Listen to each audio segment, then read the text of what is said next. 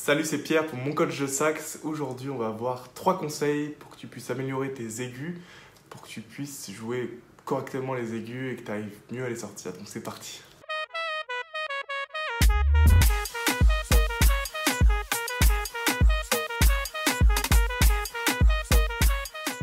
Alors le premier conseil, ça va être de chanter les notes que tu es en train de jouer.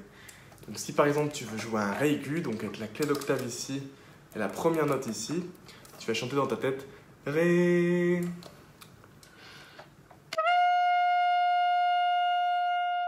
Donc après, pareil pour toutes les autres notes, si tu joues un Fa.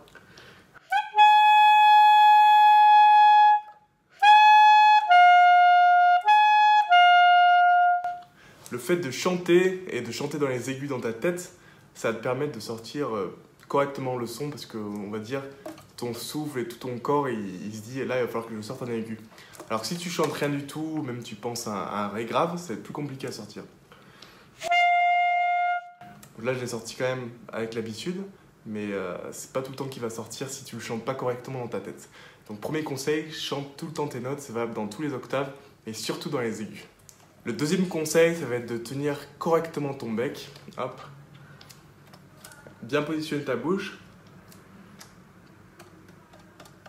Il faut bien que tu, tiennes ton bec. Faut pas que tu sois. Hum, faut pas que ta bouche soit toute ramollie, que tu puisses pas tenir correctement le bec, d'accord? Ça, ça marche pas. Ça, ça marche pas. Il faut bien que tu le tiennes correctement ferme. Sans à la fois serré, mais. Il faut que si tu donnes un coup dans ton sax, que le, euh, le bec et le bocal ne partent pas. Là, ça veut dire que tu tiens correctement ton bec.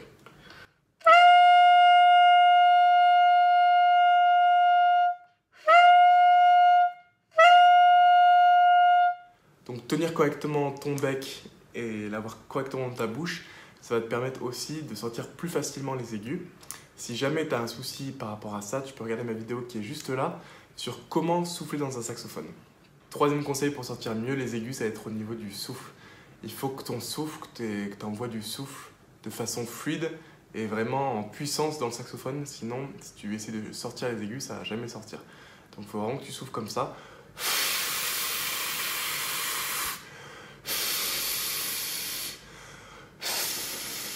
Faut que tu sentes la puissance du souffle, euh, même si tu mets ta main devant, que tu sentes la puissance du souffle qui arrive, et après tu fais pareil dans le saxophone.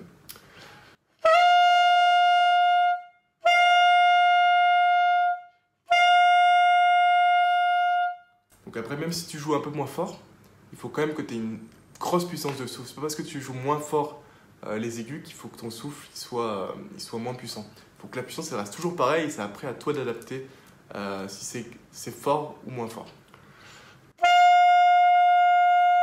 Pareil, la vidéo sur comment souffler dans un saxophone pourra t'aider par rapport à ça, euh, parce que c'est vraiment important le souffle que tu vas amener dans ton saxophone pour sortir les aigus. Pour finir, quatrième point bonus, je dirais que pour sortir les aigus au début quand tu commences, le mieux c'est de ne pas les faire détacher, donc pas utiliser ta langue quand tu veux les sortir.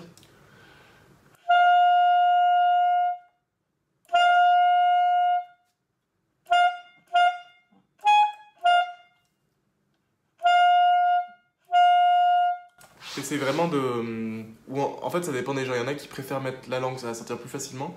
Il y en a sans la langue, ça va sortir euh, plus facilement. Donc, je te conseille quand même d'essayer sans la langue. Tu le fais tout, tout lié. Et que tes doigts qui bougent, toi, tu fais pas bouger ta langue dedans. Parce que quand c'est détaché, c'est encore un peu plus dur, je dirais, de, sortir les aigus. Donc pour conclure, pour sortir correctement les aigus et les sortir plus facilement, je te conseille de chanter tes notes. Donc c'est valable pour tous les octaves, mais surtout pour les aigus. Donc si tu joues Ré aigu, Mi aigu, Fa aigu, etc., chante bien tes notes intérieurement. Ça permettra de faciliter euh, la sortie de la note. Ensuite, je te conseille de tenir correctement ton, bec, parce que si c'est tout lâche ou si tu le tiens pas correctement avec ta bouche, ça va être compliqué de, de sortir les notes. Troisièmement, ça va être par rapport au souffle. Il faut vraiment que tu envoies le souffle euh, vraiment de façon puissante même si tu es moins fort, il faut quand même que ça sorte toujours euh, assez puissant le souffle que tu envoies dans ton saxophone. Et voilà, le quatrième petit point bonus, c'est euh, d'essayer de les sortir plutôt de façon liée, les notes, juste en faisant bouger tes doigts et sans utiliser, sans utiliser ta langue dans un premier temps. parce que ce sera un petit peu plus dur en général de, sortir les aigus quand tu détaches les notes. Voilà, j'espère que cette vidéo t'a plu. Si c'est le cas, tu peux me laisser un petit j'aime, t'abonner, tu peux me laisser un commentaire, j'y répondrai avec plaisir. Et sinon, on se dit à la prochaine pour une nouvelle vidéo. Ciao, ciao